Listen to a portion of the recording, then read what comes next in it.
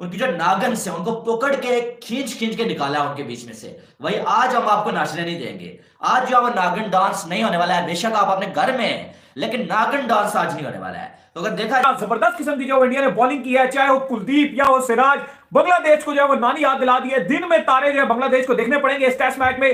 कमाल, धमाल और सुपर किस्म की जो बॉलिंग देखने को मिल रही है, जो इंडिया के द्वारा इस वक्त ज़बरदस्त किस्म का जो है कंट्रोल में इंडिया के टेस्ट मैच एक आठ आउट इंडिया जो है वो कर चुका है। 404 रन का दूसरी तरफ़ से इंडिया ने बल्ला घुमाया। भाई, ये तो फॉलोअर पड़ने वाला है। देखिए, सबसे पहले तो आपको तारीफ़ करनी पड़ेगी अली क्या आज कमाल बैटिंग की अश्विन ने और कुलदीप यादव ने। मुझे उनसे इतनी उम्मीद नहीं थी कि इतनी कमाल की बैटिंग करेंगे, लेकिन आज विदाउट एनी डाउट कमाल के कुलदीप ने बैटिंग में। और भारत ने 404 रन बोर्ड पे लगा दिया कल हम बात कर रहे थे कि साढ़े तीन सौ तक अगर इंडिया लगाता है तो ये ठीक होगा। उम्मीदें हमें थी सिराज से। सॉरी वो अय्यर से उम्मीदें थी कि अय्यर कुछ ना कुछ करके देंगे लेकिन वो आउट हो गए सेंचुरी नहीं बना सके पुजारा और अय्यर दोनों ही एंड में लकी रहे। दोनों ही की वेल डिजर्व सेंचुरीज थी जो नहीं हो सकी। लेकिन उसके बाद अश्विन और कुलदीप ने ज़बरदस्त बैटिंग उसके बाद इंडिया 400 के टारगेट तक पहुँच सका और उसके बाद जो हाल हुआ बांग्लादेश का वो तो आपके सामने है। सिराज और कुलदीप हमने आपको पहले बोला था कि कुलदीप वो बॉलर होगा जो मिस्ट्री होगा जो नहीं खेल पाएगा भाई। बांग्लादेश नहीं खेल पाएगा कुलदीप यादव को। कुलदीप ने तो कमर कमाल का बॉलर है कमाल का बॉलर है। जितनी तारीफ़ की जाए उतना कम है। आउटस्टैंडिंग दिन खत्म होने वाला है आई थिंक दो बॉले हो। गया हो गया हो गया स्टंप हो हाँ, हो गया एक। सौ तैंतीस रन जो है वो बनाया है। डे के अख्ताम पर इन्होंने बांग्लादेश ने आठ आउट जो है वो इनके हुए हैं। सेकंड डे का जो आज इख्ताम हुआ है। तो मुझे तो लगता है ये डब्ल्यू के लिए कुछ एक्स्ट्रा पॉइंट इंक्रीज करने चाहिए इसको। आईसीसी को अगर तीसरे दिन पे कोई टेस्ट मैच खत्म करता है तो। नहीं लग तो यही कहानी रहा है। पॉइंट लेकर कि तो अभी कल टेस्ट बांग्लादेश फॉलो ऑन हो गया बांग्लादेश हो जाएगा। कल सुबह आधे पंद्रह मिनट में हो जाना। दो विकेट तो चाहिए।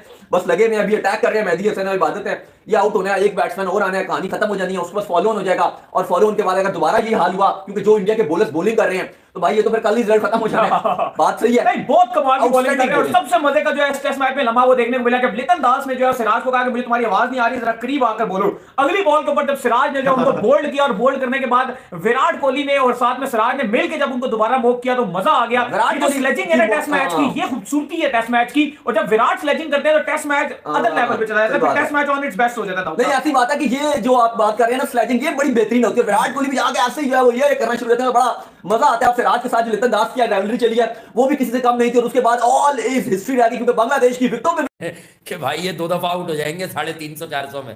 आप अगर मतलब नहीं होते ये, बताने की कोशिश कर रहे हैं कि वो अमेरिका से खेल रहा है जापान से खेल रहा है मराकश से खेल रहा है मतलब लानत ऐसी अप्रोच के ऊपर मैं तो कह रहा आप बांग्लादेश के खिलाफ भी आप कह रहे हैं कि यार बड़ा अच्छा खेल रहा है भाई लाना क्या बोलिंग माधव हुसैन अश्विन को ये हो रहा है ये मतलब तो अच्छा- बुरा भला कहने वाला हूँ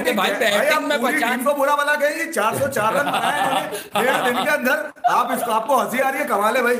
भाई डेढ़ दिन में नहीं बनाया। अरे लाना था यार तो कह रहा एक दिन में भी बनाया भाई तो सब पिंडी थोड़ी बॉलिंग तो देखो ताजू उनका बॉलर है। ताजू तो वर्ल्ड क्लास है। ताजू विकेट ले रहा है भाई बारह पाँच विकेट तो अश्विन पे अभी नहीं नहीं तो हँसी की मैं तो हँसी में कह रहा हूँ आपकी यार। यार पचास किया अश्विन ने पचास।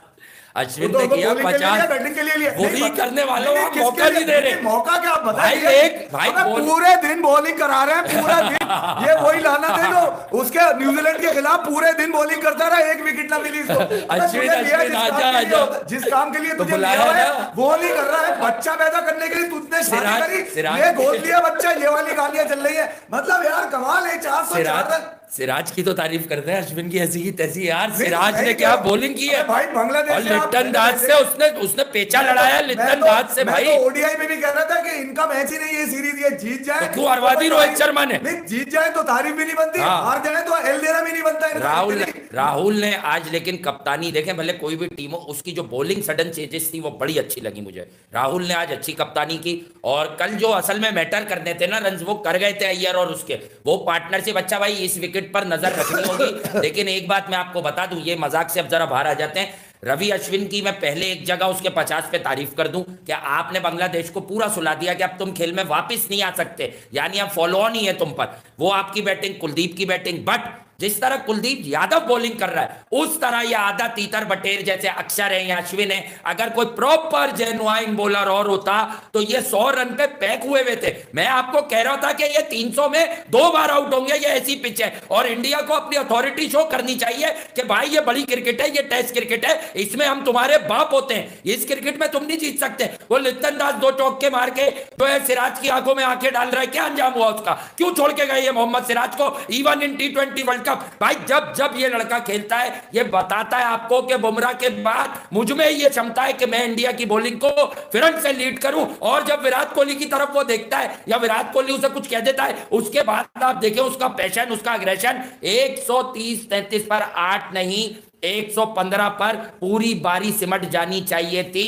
ये अब आपको अजीब लगेगा। लोग शायद आपसे दुनिया जाके अश्विन की बैटिंग की तारीफ़ करके गए होंगे। अश्विन ने बॉलिंग अपने कैलिबर के हिसाब से नहीं की, क्योंकि भाई यही एक फॉर्मेट है जिसके तुम अंदाता हो मेरी नज़र में। बाकी फॉर्मेट्स में आप प्रिडिक्ट हो गए हो। अगर आप यहाँ पे साथ देते तो अभी सौ रन पे आउट करके बांग्लादेश दोबारा खेल रही होती और बांग्लादेश के फिर तीन आउट हो गए होते। ये मसला आपको आ रहा है। जब आप जीतने लग जाते हैं अच्छा करने लग जाते हैं तो अच्छी अच्छी चीज़ें पीछे छुप जाती हैं कि भाई अच्छा तो कर रहे हैं। 133 पे आठ नहीं 105 पे पूरी बारी सिमट जानी चाहिए थी बांग्लादेश की। भाई मतलब इस तरह की विकेट पर जहाँ असिस्टेंस मौजूद है पेसर्स के लिए भी अच्छे पेसर्स के लिए भी आपको डायरेक्ट अश्विन पे बात नहीं कर रहा वो तो नहीं मैं तो करना ही अश्विन पे चाहता था कि उसको पचास पे क्रेडिट दूँगा कि 404 कराए तूने। नहीं नहीं अब आप पर्सनल हो रहे हैं अश्विन नहीं नहीं मैं क्यों आप होते हो उससे पर्सनल पर्सनल होता मैं तो बता रहा होता हूँ। देखें ये कुलदीप यादव है जिसने बाबर आज़म को आउट किया था उसके बाद से इसको गया। है। ठीक है ये वही कुलदीप यादव है। अच्छा उसको मुस्तकिल मिजाजी से आपने एल पे मार के रखा।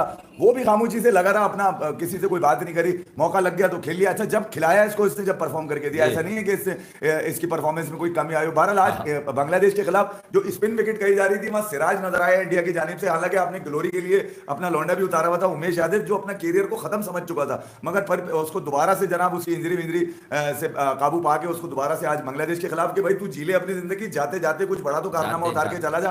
मगर ये कि अ, शायद उमेश के पास अच्छा स्पेल करने के लिए बॉलिंग तो है मगर अच्छा, मतलब टीम टीम के लिए विकेटें लेने के लिए उसकी चाहे हार्ड लक समझ लें या शायद उसका एम ही नहीं होता कि वो विकेटें निकाले सीम से स्विंग स्विंग वगैरह करने की सलाहियत है जो उनके पास है वो करने चले आ रहे बाहर एक अच्छा स्टार्ट ज़रूर था बांग्लादेश की जानिब से मगर लिप्टन का तो आपको पता ही है बांग्लादेश के पास सिवाय छिचोर बन के रह क्या गया है अभी? हाँ। एक बल्ला अगर लिप्टन दास को वर्ल्ड कप पे पकड़ा दिया विराट कोहली ने तो उस बल्ले से क्या मतलब है तू रन मार लेगा क्या? हाँ। मतलब ऐसा लग रहा है कि विराट के बच्चों को भी तो मारेगा मतलब बोल बोल के मारने की तो ये गलत बात है जिस विकेट पे अश्विन पचास कर रहा है बड़े बड़े लोग रन ही नहीं करके गए उस विकेट पे। बहरहाल कुछ नहीं कुछ नहीं बांग्लादेश फिर ऑस्ट्रेलिया में फाइवर बांग्लादेश में फाइवर इंडिया में फाइवर सिर्फ़ आठ टेस्ट मैच खेला हुआ लड़का हर जगह आउट कर रहा है और तबाही की देखें इसकी जो मेंटालिटी है you have to admire and salute कि इसकी रिजिलियंस को इसकी रिजॉल्व को कि बार बैट बैट पंद्रह महीने से भी ज़्यादा के बाद दोबारा वापसी दो साल के बाद वापसी। मतलब है अगर कोई वापसियों के हों तो वो सबसे ज़्यादा रिकॉर्ड यही बेचारा बना जाएगा। कुलदीप यादव कमाल की बॉलिंग की मज़ा आया। ट्रैप किया सिर्फ़ सत्रह रन बने ओवरनाइट स्कोर 133 में और चलते बने। आ, आ, वो बोल्ड उसको कैच किया पंत ने। दोनों चीज़ों में पंत ही इन्वॉल्व रहा। इसका फाइवर पूरा कराया लेग साइड पे कैच पकड़ा और इबादत हुसैन चलता बना। उसने देखा मेहदी हसन मिराज ने भैया जी यहाँ तो कुछ नहीं होना आगे बड़ा छक्का मारने बड़े आराम सुकून से बीट हुआ। और पंत ने अक्षर की बॉल पे did the rest anyways India मैं समझता हूँ देखें मेरा भी ये रात से मैं कह रहा था, इन्हें फॉलो ऑन नहीं करना चाहिए, नहीं करना चाहिए, नहीं कर। अभी देख लें आप 36 रन है, बेशक 15 ओवर है, थोड़ा स्लो खेल रहे हैं अगेंस्ट माई लैकिंग है, सवा दो, ढाई से कम की औसत से जा रहे हैं। लेकिन ठीक है, शुरू का घंटा था वो यकीन था कि ये एक घंटा भी नहीं, पंद्रह ओवर है, थोड़ा स्लो खेल रहे हैं अगेंस्ट माई लैकिंग है, सवा दो ढाई से कम की औसत से जा रहे हैं। लेकिन ठीक है, शुरू का घंटा था वो यकीन था कि ये एक घंटा भी नहीं सर्वाइव कर पाएगा बांग्लादेश, जो दो विकटें रह गई हैं।